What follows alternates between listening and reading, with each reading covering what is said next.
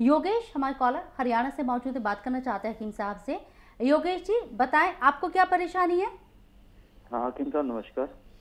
जी आदाब योगेश जी।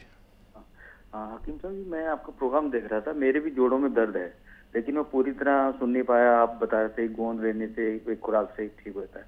थोड़ा समझाएँगे दूसरा ये कि क्या औरत और आदमी की सेम खुराक होती है या कम बढ़ भी होती है इसकी? अच्छा अच्छा बड़ा अच्छा सवाल किया। हाँ देखिए, यूनानी में बालिग मानते हैं बारह साल के लोगों को। जो भी बारह साल से ज़्यादा का है, वो बालिग है। और बालिग आदमी की खुराक एक सी होती है, औरत हो या मर्द हो।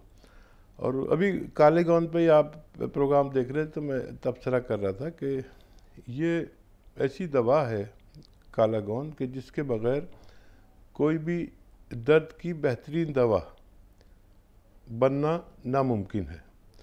तो बेशक ये महँगी आती है, लेकिन ये दवा असली हासिल करना एक बड़ा कमाल है। आपकी तबीयत ठीक होना बड़ा कमाल नहीं है, इसके नतज बहुत अच्छे हैं। यानी जिसको किसी भी दवा से फ़ायदा ना हो, वो काला गौन की आधा खुराक सुबह आधा खुराक शाम।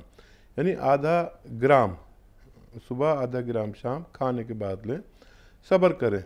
एक दो महीने सब्र करें तो आपको मुकम्मल फ़ायदा होना मुमकिन है।